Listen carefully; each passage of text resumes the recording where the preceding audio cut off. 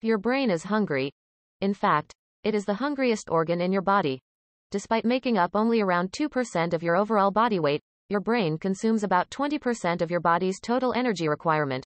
But it is a mistake to think that it's only energy that the brain needs to function well.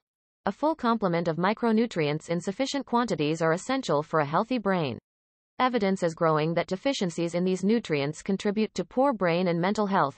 Moreover, there is not a single point in the lifespan, from conception to old age, where nutrition doesn't play an important role in brain structure and mental health. For example, we know that it is important for women trying to conceive to take folic acid, a B vitamin, to prevent neural tube defects conditions such as spina bifida. Of course, it's not just folic acid that the developing brain needs.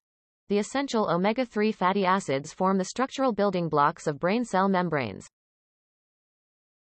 One of these fats, DHA, makes up between 10 and 20% of the brain's total fatty acid content.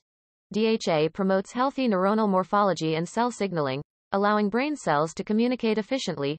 During pregnancy, accumulation of DHA in the brain and retina is necessary for proper brain development and visual function.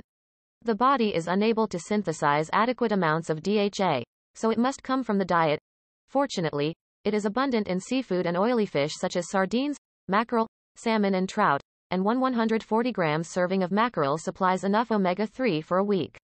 Consequently, greater maternal seafood consumption during pregnancy is associated with improved brain development and cognitive function in children, including better scores on assessments of verbal intelligence and fine motor control.